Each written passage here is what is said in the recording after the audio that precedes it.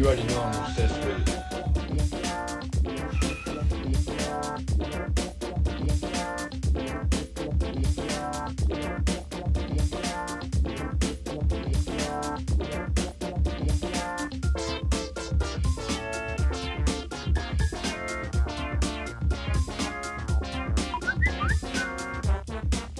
I can't get enough.